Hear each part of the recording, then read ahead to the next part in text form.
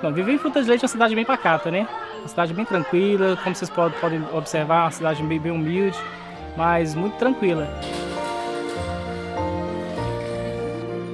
Eu creio que o que dificulta realmente é a geografia. É onde nós estamos localizados.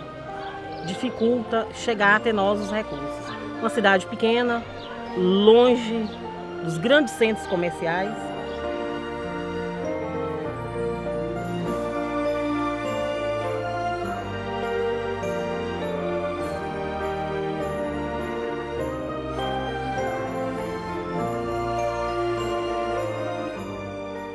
Olha, o que a gente mais sente falta é a assim, a gente queria dar um.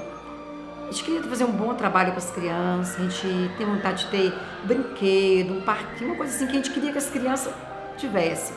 O que a gente tem, a gente tenta fazer, né? Aquilo que dá para fazer manual, as professoras faz, procura fazer um trabalho, leva para quadra, tem um horário de dormir.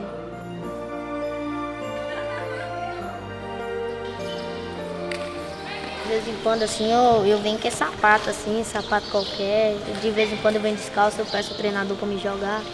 Mas ele não deixa, né? Aí de vez em quando ele deixa, de vez em quando não. O que, que nós fazemos? Quando vem dois, três, quatro calçados, nós mandamos tirar o tênis. Para igualar os outros. Senão desiguala e pisa no pé e machuca. Aí nós vamos, tira o tênis, todo mundo. Vai jogar descalço. Sim, vontade de criar projetos e executar projetos a gente tem. Então o que falta mesmo é mesmo recurso recurso para comprar um instrumento, para comprar uma viola, para comprar um violão, um cavaquinho, uma sanfona, ou mesmo é, instrumento de percussão, aí fica difícil.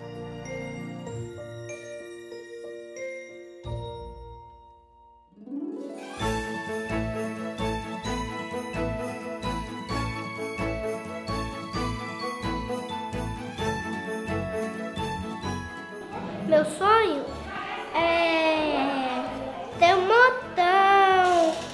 felicidade, ter brinquedo para brincar. Casa só tem pouco.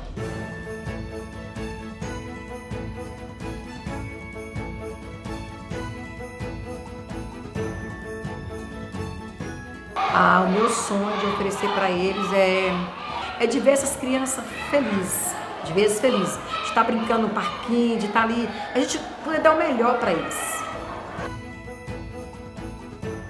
Não quer ficar sem esporte nenhum. O lance deles é jogar bola. Mas se não ir na escola, eles já sabem, não joga bola.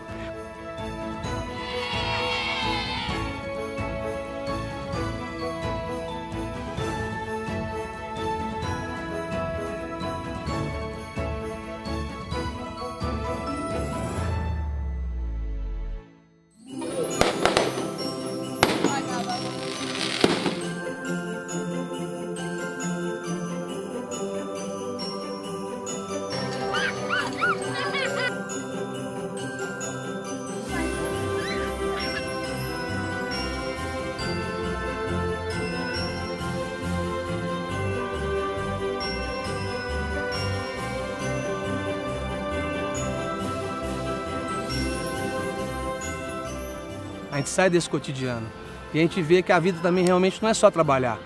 A vida é trabalho, a vida é lazer e a vida também é comunhão, é comunidade, é ser solidário também. E hoje o Papai Noel está aí, né, digamos, junto com a gente, trazendo, fazendo esse sonho. Então eu pude ver no olhar de cada criança que eu acho que o Natal realmente na vida deles hoje existe.